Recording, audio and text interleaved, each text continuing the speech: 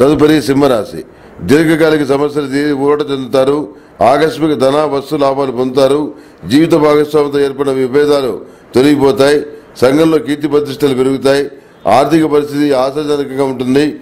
కొత్త వస్త్రాలు ఆభరణాలు కొనుగోలు చేస్తారు. నిరుద్యోగులకు ఉద్యోగ అవకాశాలు కలుగుతాయి. గృహం నిర్మ- నిర్మాణ సంబంధమైన ఆలోచనలు కొనసాగిస్తారు. రుణ బాధలు తీరి మానసిక ప్రశాంతతను పొందుతారు. గృహ నిర్మాణ ఆలోచనలు సాగిస్తారు. రుణ బాధలు తీరి మానసిక ప్రశాంతత పొందుతారు. అనుకున్నటువంటి ఆహ్వానాలు ఆశ్చర్యపరుస్తాయి. సాంకేతిక విద్యా రంగాల్లోని వారికి సన్మాన యోగం ఉంటుంది. విందు వినోదాలు శుభకార్యాల్లో చురుగ్గా పాల్గొంటారు. పెట్టుబడులకు తగినటువంటి లాభాలు పొందుతారు. నూతన విద్యలపైన ఆసక్తి కనబరుస్తారు. దక్షిణ ఆఫ్రికా టీంకి మధ్య క్రికెట్ జరుగుతోంది. ఈ నేపథ్యంలో భారత్ క్రికెట్ టీం ఘోరంగా ఓడిపోతుంది.